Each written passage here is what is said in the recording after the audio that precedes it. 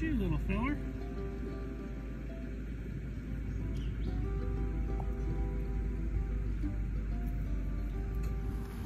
Oh my goodness. Look at the size of this turtle.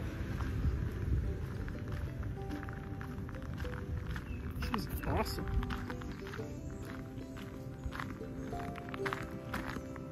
Look at you. You're a monster. I don't know if you can tell how big this guy is, but look at this. There's my hand. Not even close. He is huge. That's the biggest box turtle I think I've ever seen. My goodness, you're beautiful and look at your eyes. Wow. You're amazing. Bring this guy over so you can see just how big he is. He's huge. He's a, well over a foot long, probably at least nine inches wide. I've never seen a box turtle this big. I don't know if many people have. This is amazing. I'm gonna set him off to the side so that he can stay safe off of this road and get back on the uh, on the trail.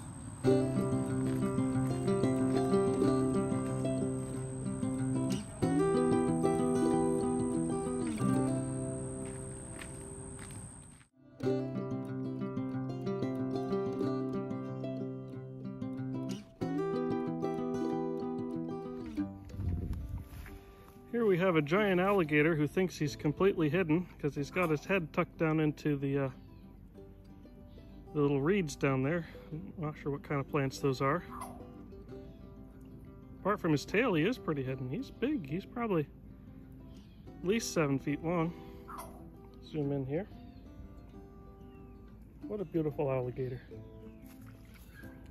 Now he's on the move. I think this is the biggest guy I've seen today. I'm fairly safe right here because I'm up on a, uh...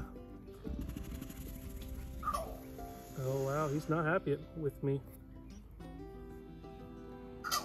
I'm up on this uh, bridge, so probably looks like I'm a little closer than I am.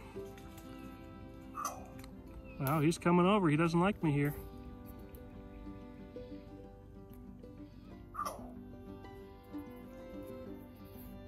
Look at him, he's gorgeous.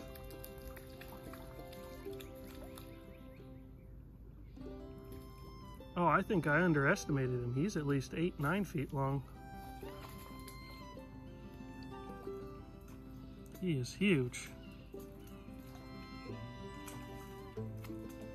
I think he's trying to decide if he can get up here and get me, but he'd have to come up out of the water about four feet and then make his way up over this concrete pier.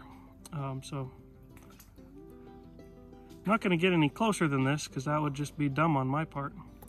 But look at his snout here. This is really interesting. It's kind of got, move over so you can see. It's got a point and then it broadens out on either side with these little bumps. I haven't looked at that many alligator snouts, but that's really cool.